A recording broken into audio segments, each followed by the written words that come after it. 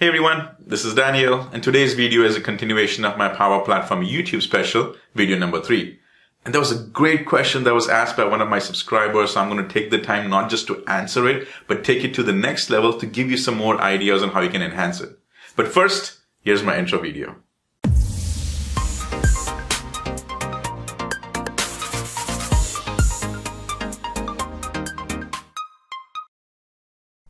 So let's get into it.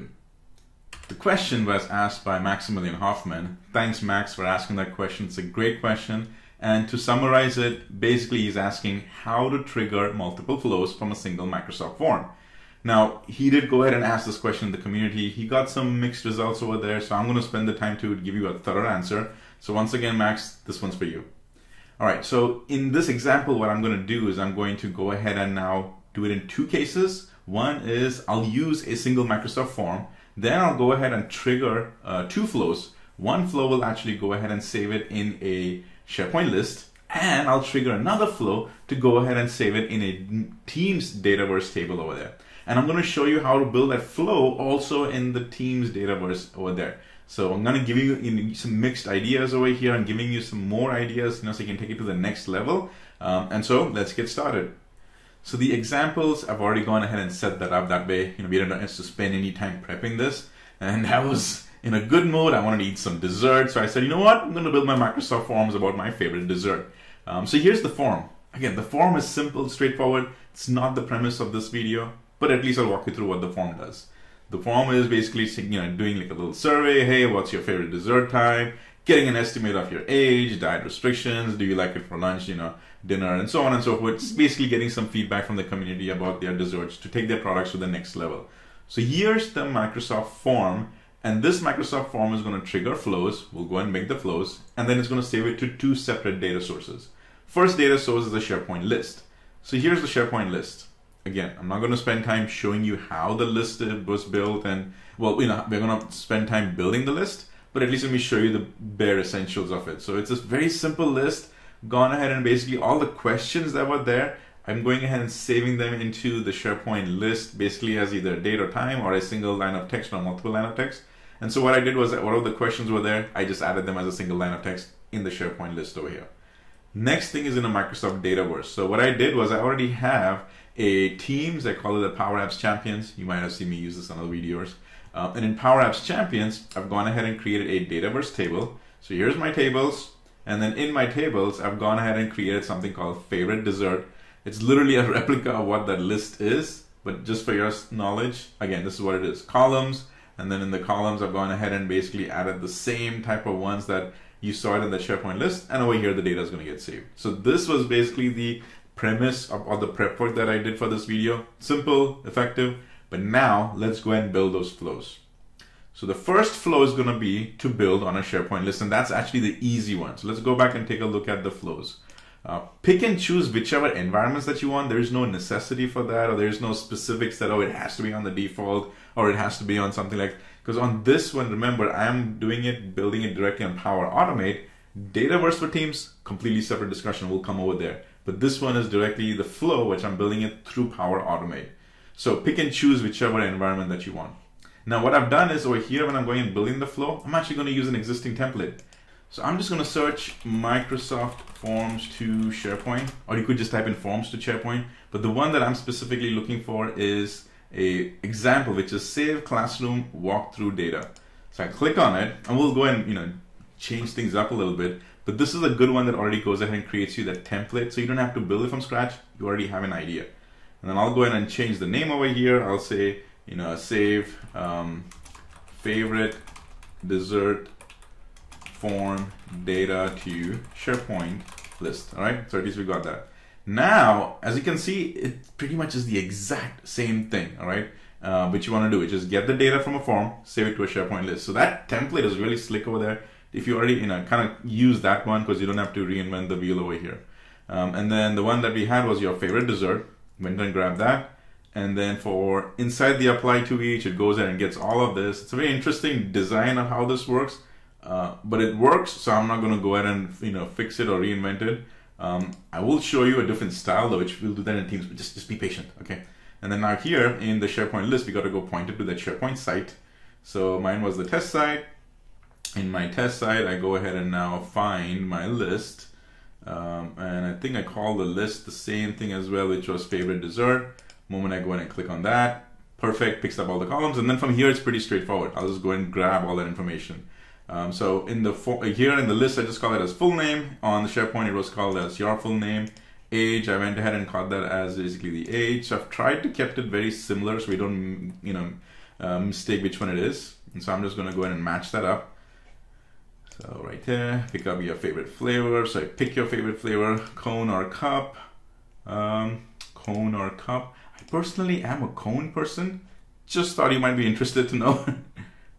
yeah, really depends. And then number of scoops was the last one. Number of scoops. Cool. So I'm to go and save it. And we aren't actually done with the initial thing that you must have already been doing is that I've got a form. When the form is submitted, go ahead and save an, uh, data to another data source, which is the SharePoint list. So this is what you already know. I bet you this is what Maximilian has already been doing with Max. Now you can take it to the next level where, think about it, the form keeps getting multiple entries. And if I go ahead and use that as a trigger in multiple flows, all the flows will run.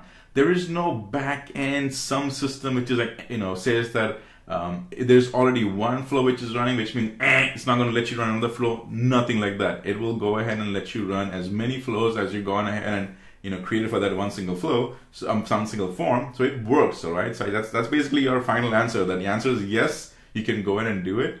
And SharePoint list was an example over there because it already had a really nice template. So that's what I went and saved it. But now this is where I'm going to take you to the next level, all right? So now let's go and focus on teams. So I'm going to my teams and in my teams, I've gone ahead and gone to that table over here. The um, the table was called as favorite dessert, and it's in my Power Apps Champions team. Now, in this case, I'm going to come and I'm going to go to my Cloud Flows. I come over here to the plus new, I go to Cloud Flow, and I select Automate. So that's basically the same process. Um, I don't have the functionality to select templates over here. Um, therefore, you got to make sure that you know what you're doing and kind of come up with a very simple process. And I'll, I'll walk you through that because it became a lot easier over here. So when I'm saying that the, the, the trigger is going to be the same thing, which is when a new item is submitted in a form, and I'll go ahead and create that. And then here, I'm going to go ahead and say um, favorite dessert form info in Dataverse Teams, all right? And now the trigger is going to be the Microsoft form, which is right there. And then here, if you remember in the SharePoint list, it actually went into an apply to all. It doesn't do that over here in Teams, which is the Teams Dataverse, which is great. So don't try to replicate what was there on SharePoint list because it is going to error out. That process works for the SharePoint list. For the Microsoft Dataverse table, it's actually a lot simpler.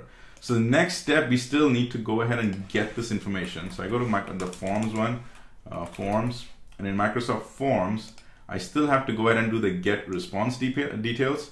And the get response detail is the ID from the form that we just submitted, the form response ID. And that's the only option available, so really can't make a mistake.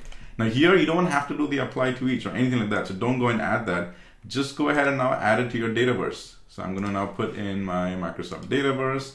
I'm gonna go ahead and add a new row and then find my table. And my table was for the desserts one, so it's loading.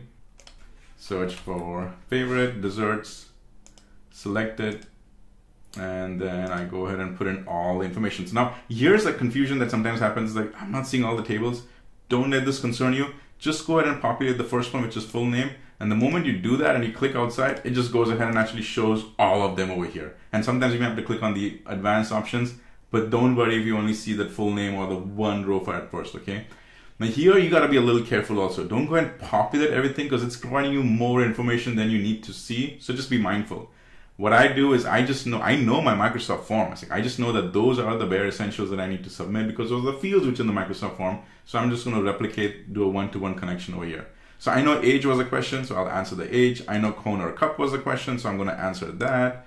Cone type definitely was a question. Go ahead and select that. Dietary restrictions, dietary restrictions. Favorite dessert, a dessert. Well, favorite dessert was actually the name of the table, the name of the flow. So I'm not going to uh, focus on that at all same thing with the next one, not going to focus on that. Number of scoops, yes, I need to put that because I know that was a legitimate question. Um, owner ID, not a question, ignore that. pick your favorite flavor. I know that was a question, so I'm going to go ahead and now find that one. Where are you? Yep, right there. Um, not not legitimate. Record created. Nothing. All the way, all the way, all the way lost. Okay, last last question. When do you prefer eating a dessert? That was a question that we asked. So when do you prefer eating a des- dessert? And so that was it. Um, I don't have to do any apply to each. If you notice, it automatically also did not do an apply to each. It went ahead and just added the new row and it just takes care of that. Now I know what some of you may be thinking is that Daniel, one of your questions, what if it was a multiple choice? Doesn't that automatically put it into an apply to each? Well, it doesn't. And the reason for that is when Microsoft Forms is sending that information, it's sending that form, it already goes ahead and concatenates that into inside the brackets with semicolons. So it does all the concatenation before it sends the data. So you're already good on this side. So now let's just go ahead and do that final test. I'll go ahead and save it. It's going ahead and saving, saved. Let's go outside and we see our flow over there. So all those, I'll just go and click on it. That way we can keep an eye on that. And now let's go ahead and test it. So we go to our Microsoft Forms. In fact, for here, I'll go and see that outside as well. Yeah, very good. And let's do a test. So my full name is Daniel Christian. My age is this category, diet restrictions, none. Well, actually, I'll go ahead and say, let's say gluten free.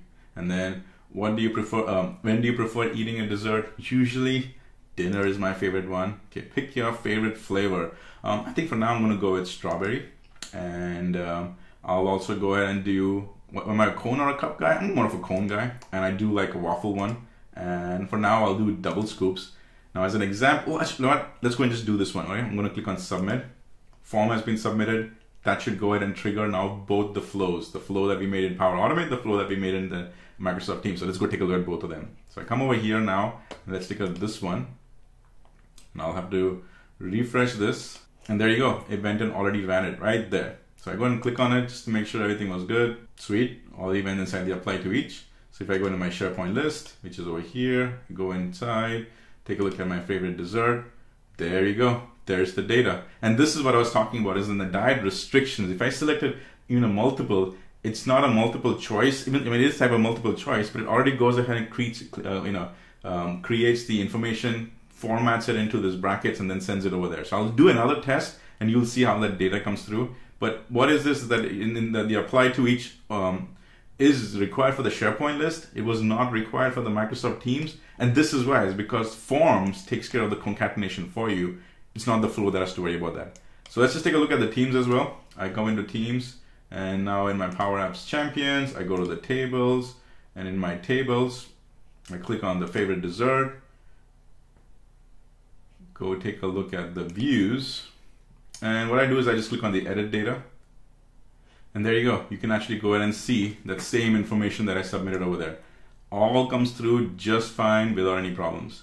So as the final test, let's go ahead and now do the multiple selection over there for the flavor and then we'll see what that works. So I go back to my Microsoft form and in my Microsoft form, yep, I'll just go ahead and refresh that or I could hit the back button. I'll refresh it. And now I'm going to say Rosanna Christian, my wife's name, date, and let's say that she is both dairy free and gluten free. She usually likes it anytime. Her favorite one is usually chocolate or butterscotch. So I'll go with the butterscotch for now. She's definitely a cup person and she always likes a single scoop. So I'll click on submit. Data has gone through. Both the flows will trigger off. So let's go and take a look at the first flow. Get out of this one. Going here. Perfect. The next one just ran through. So now you go to the SharePoint list. Oh, it's already over here. And this is what I was talking about. It already goes ahead and combines the data, sends it over there, so you don't have to worry about it in the um, form or in the SharePoint list that, oh, you might go ahead and make multiple rows, none of, or multiple list items, none of that. The form takes care of that and the flow sends it over there. And as a final check, we go back into our um, Microsoft Teams, look at the Teams Dataverse table over here. I go ahead and now take a look at edit table, or edit data. There you go. You see the second one, same concept over there. Went ahead and selected uh, and gave us the information. And remember, in this one, it didn't do the apply to each that was proof that all this concatenation is happening already on Microsoft Form side. Sends the information, all you got to do is save the data. So as a quick recap, we went ahead and created two flows, both the flows triggered just fine, even though the form was just one entry over there. And we took it the next level. We saved it on a SharePoint list. We saved it on a Microsoft Teams Dataverse. I also showed how the two flows were different, but yet really effective. Like in the SharePoint one, we used the template, it put it in the apply to each. In the Teams Dataverse one, we didn't put it in the apply to each, but it still worked. And the big thing that does on the forms is even though when we have that multiple selection over there, Forms already goes ahead and does the concatenation and combines the data. Even the multiple selection, it takes care of that and it sends a nice clean data for you to go ahead and save it. So hopefully this video was helpful. And as always, keep using Power Automate. Thank you so much for watching my YouTube video. Remember, this is all free with fresh content that is updated on a weekly basis. So if you've already subscribed to my channel, thank you and spread the word. If you haven't already, subscribe, click on the bell notification, and let the learning begin.